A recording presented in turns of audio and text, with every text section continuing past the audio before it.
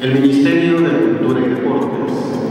según acuerdo ministerial número 57-88 de fecha 24 de noviembre de 1988, confiere el Premio Nacional de Literatura Miguel Ángel Asturias 2019 al escritor Luis Eduardo Rivera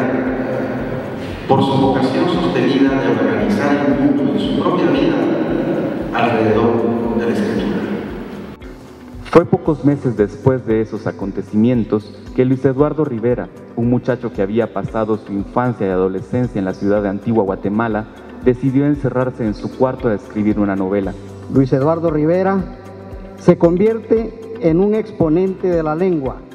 con un manejo sobresaliente del español, lo cual permite que sus letras sean digeridas de manera agradable y apacible.